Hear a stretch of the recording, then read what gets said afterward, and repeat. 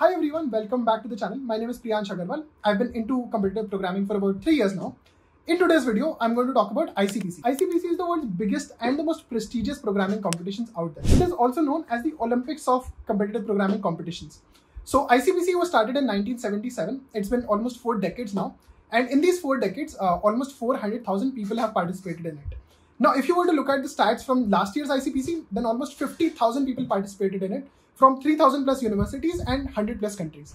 Talking about the growth of this competition, over the last 25 years, the number of participants in ICPC has increased by 2000%. So ICPC is a really prestigious competition and almost anybody in the programming community would know about it. So in case you're appearing for interviews or in case you're talking to anybody, and if you tell them that, you know, you've appeared for ICPC, you've gone to this stage in ICPC, then that's considered to be a very, very big deal. So before we go into the details of ICPC, let me just tell you that there are three main stages. The first is the online programming contest, the second is the regional contest, and the third is the world finals. Now, for some regions, there is another contest which is known as the continent finals that takes place. So, for example, if you look at India, India comes in the Asia West region. So, there is another contest which is known as the Asia West Continent Finals. So, this is something that has been recently introduced and it takes place between the regional contest and the world finals contest. So now that we know a bit about the stages, it would be a good time to talk about the eligibility criteria for ICPC. So first of all, ICPC is not an individual contest. It is a team-based contest. So in order to participate in ICPC, you need to have a team of three people, which should be from the same college. Other than that, you need to have a coach from the same college. The coach here is just supposed to register you as a team. So in order to participate in ICPC, you cannot register yourself as a team, but you need to have a coach or some faculty or professor in your college who can register you as a team. Now there is another concept of a reserve member. So basically in the team of three, you can also choose to have another reserve member. So just in case if somebody doesn't show up on the main day on the contest of the regionals or let's of the world finals, then you can choose to you know uh, team up with that fourth person. But again, this is very optional, and most teams usually don't have any reserve members. Now, another eligibility criteria for ICPC is that in case you've participated in ICPC before, and if you've appeared for five regional contests, or in case you've appeared for two world finals contests, then you cannot appear for ICPC again. So there are three main stages here. The first is the online preliminary round, the second is the regional contest, and the third is the world finals. So the first stage in this entire contest is the online preliminary round. Before you appear for the online preliminary round, you also have to indicate which of the regionals that you're registering for. So when you look at India, up until last to last year, there used to be four regionals: Kharagpur, Amritapuri, Kanpur, and Gwalior. Uh, last year we just had three regionals, which was Gwalior, Pune, there was Kanpur, and there was Amritapuri. This time we only have two regionals, right? So when you're registering for regionals, you basically have to indicate which of the two regionals that you would like to apply for. You obviously have to register for at least one regional, but in maximum, you can register for two regionals. So let's say you've registered for Amritapuri and let's say you've registered for Kanpur. Now, what happens here is that when you're appearing for the online preliminary round, there are two rank lists that are made. The first is the common rank list for that same contest. The second is the regional rank list. Now, each of these regional sites have limited number of slots. For example, Amritapuri could have 100 slots, Kanpur could have 50 slots. So what will happen here is that only 100 teams can qualify for Amritapuri, right? So Amritapuri will make its own rank list. Now each of these regionals will make their own rank list and it is not like, you know, if they look at the preliminary round, they will just pick up the top teams from that that have registered for this regional and they will make the rank list like that. It doesn't work like that. What happens here is that some of the regional sites, they say that we want to have the most number of unique colleges that appear for our regional. Basically, when you're appearing for the online preliminary round, you could have multiple teams from your own college appearing for that uh, same contest, right? And multiple teams could register for the same regional site.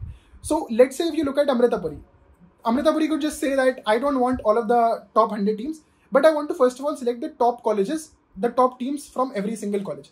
So let's say if you look at Triple IT Delhi and let's say you look at DTU. Now if you look at the rank list and if I tell you all of the five teams of Triple IT Delhi have come before DTU, basically all of these five teams have ranked above DTU. Then if you look at any regional site like Amritapuri, Amritapuri is not going to select all of these five teams and reject DTU's two teams. So what Amritapuri will do is that it will first of all shortlist Triple IT Delhi's first team and it will then shortlist DTU's first team. So what you will see here is that the four teams that came after the first team from Triple IT Delhi, they might not be able to qualify, but the first team of DTU that might have, let's say, come below these five teams could qualify, right?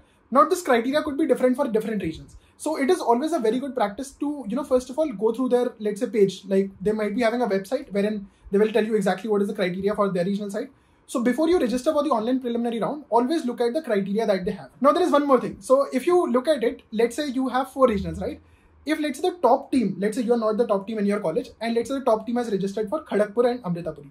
Now it obviously makes sense to not register for Kharagpur and Amritapuri because you know that for a fact this team will qualify for both of these regionals and my team will not be able to qualify, right? So what you should do is that you should apply for regionals in which the top teams from your colleges are not applying. But again, this year we just have two regionals, so you don't really have a lot of choice.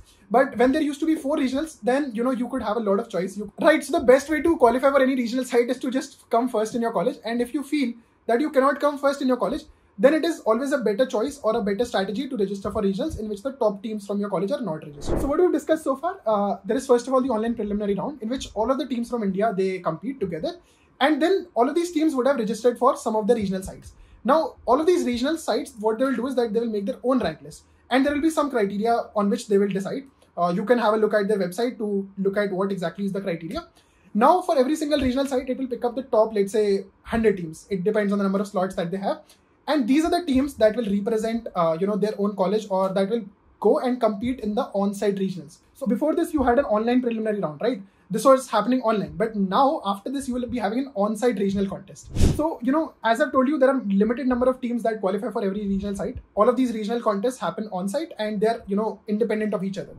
So now let's suppose you are done with the preliminary round and you've qualified for at least one regional contest. Now what happens in the on-site regional contest? This is the place where it gets really really interesting. So i have seen many competitive programmers and i'm pretty sure most of you who are watching this video you would have participated in online contests right? On Codeforces CodeChef but rarely you would have participated in a offline contest wherein you know you sit on a computer with your team and together you participate with all of the other teams.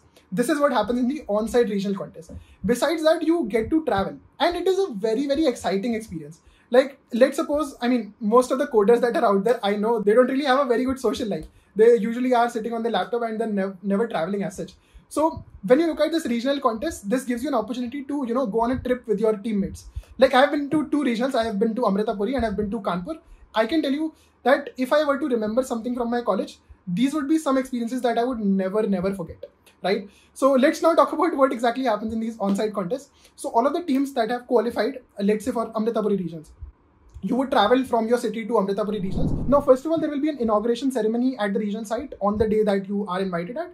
Uh, there will be a practice contest on the same day in which you will be able to understand the environment and you know the basically you will get to visit their labs and you will see exactly how you know their computers are working. And in case you have certain problems with your computer you can just let their organizers know that this is the problem and they can fix it before the actual contest. So this is day one where you actually travel to that same place you have the inauguration ceremony and you have the practice contest. The next day you you know have the main contest which is like a five hour long contest. And the interesting part here is that you don't get three computers like you know you are a team of three people right in icpc you will not be getting three computers to participate. You will be getting a single computer to participate. So it is a very very exciting experience. Let's say you're coding a problem you know you're stuck. Then let's say your teammate can help you. Or let's say you know you start fighting with your own teammate just because you're not able to code fast enough. So all of these things happen and uh, it is a very cool experience. You have a single computer and another thing here is that you cannot use the internet.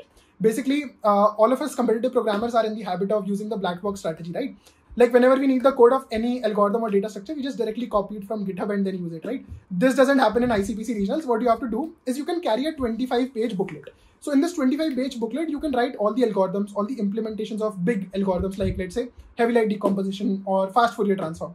You can write all of these and you can carry it along with you. You get 25 pages per team.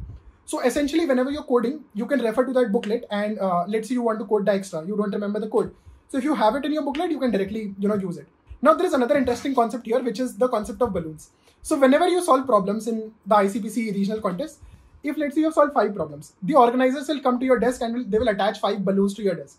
So, this way, if you look around your place, you will be able to see a lot of balloons, right? And if you want to see how many uh, you know number of problems any team has solved, you can just look at the desk and look at the number of balloons that are you know above the desk. These would be the total number of problems that they would have solved. Another cool thing in the regional contest is the concept of freezing the scoreboard. So like I mentioned, this is a five hour long contest. After the first four hours, what they will do is that they will freeze the scoreboard. Now, if you look at the scoreboard, you will only be able to see the scoreboard, which would be up until the first four hours. So if you have solved, let's say six problems, let's say you end up solving the seventh problem in that last one hour. Then the team, the other teams would not know about it, and they would only get to know about it when the final results are, you know, declared. So this makes the excitement go 10x in the regional contest.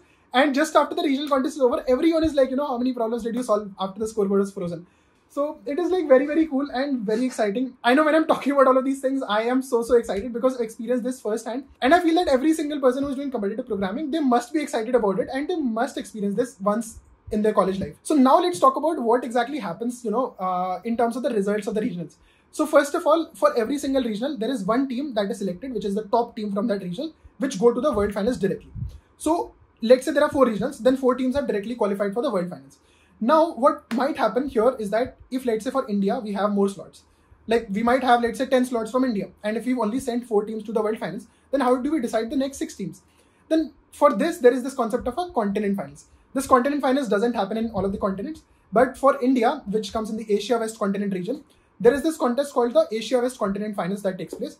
In this, teams from India, Bangladesh, Sri Lanka, and I think Pakistan and I don't know Iraq or Iran maybe all of these countries they come together and you know they participate in that contest.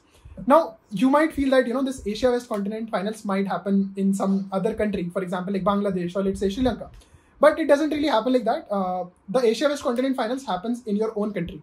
Basically, if you're from India, you would be participating in India itself. So in this Asia West continent finals, what happens is that the teams who you know were good enough but could not get to the world finals because there was some other team that was better in their regional side. If they want to qualify, they have a chance here.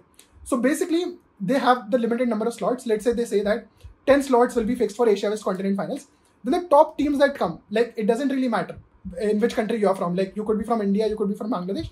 But the top 10 teams in that Asia West Continent Finals, they will be also qualifying for the World Finals. So this way, there are not just three stages, sometimes there are four stages.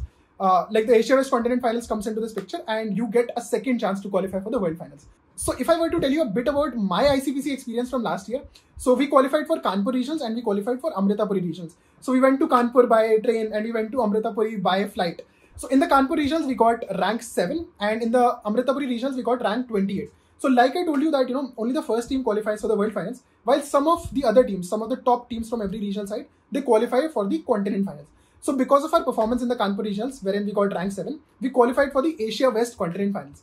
And in the Asia West Continent Finals, our team from Triple IT Delhi, they got rank 14. So this was not rank 14 among only the teams from India, but rank 14 among teams from India, Bangladesh, Sri Lanka, Pakistan, and Iraq.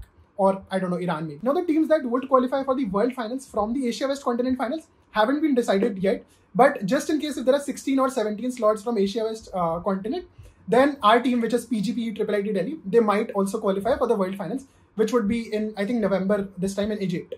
Now, the next stage after this continent finals or after the regional contest in most cases is the world finals.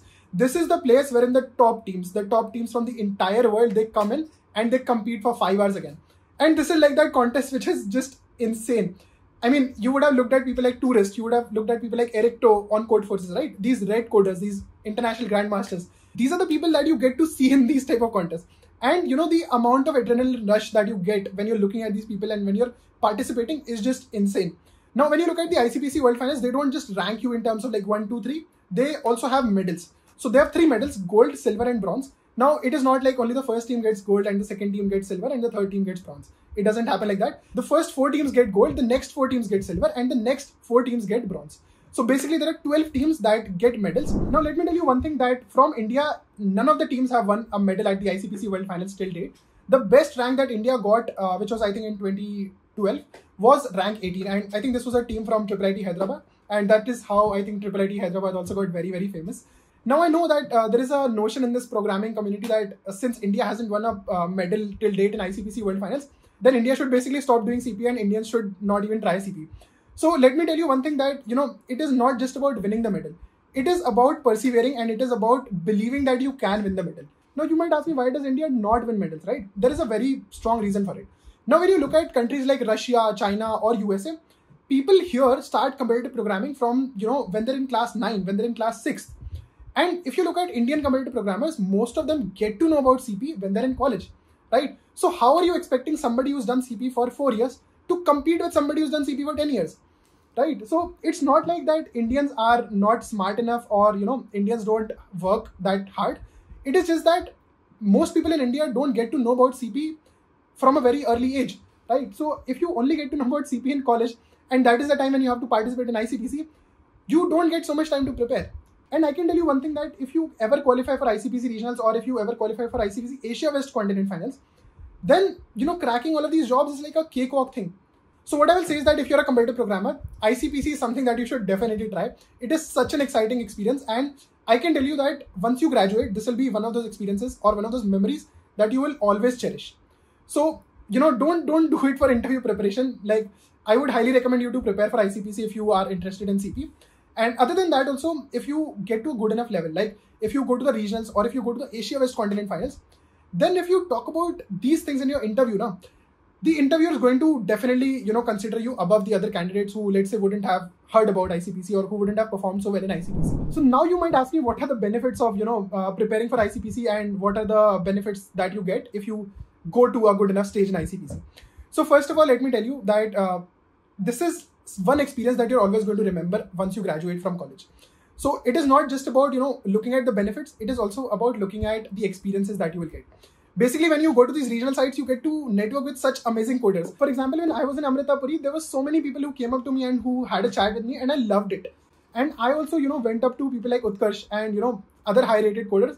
And i was like i'm a big fan of you and i just want to you know let's have a picture with you. And other than that also when you're preparing for icpc you tend to you know work in teams so most of the competitive programmers that are out there, they try to work alone and they're very good individual workers.